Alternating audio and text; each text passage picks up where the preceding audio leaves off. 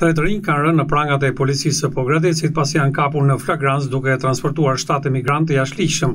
Ato u arrestuan në afërsi të fshatit Baragozhd të Pogradecit, pasi u konstatua se në mjetet e tyre tip Benz dhe Ford ndodheshin disa shtetas të huaj.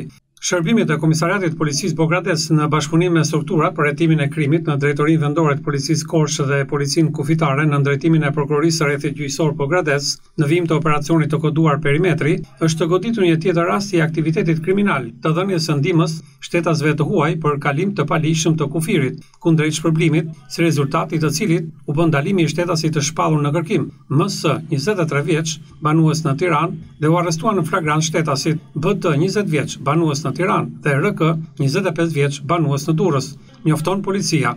Bëhet me dije se të rinjtë u kishin premtuar transportin drejt vendeve të Bashkimit Europian emigrantëve në këmbim të një shume prej një mijë e katërqind euro në total. Sipas policisë, shtetasi MS.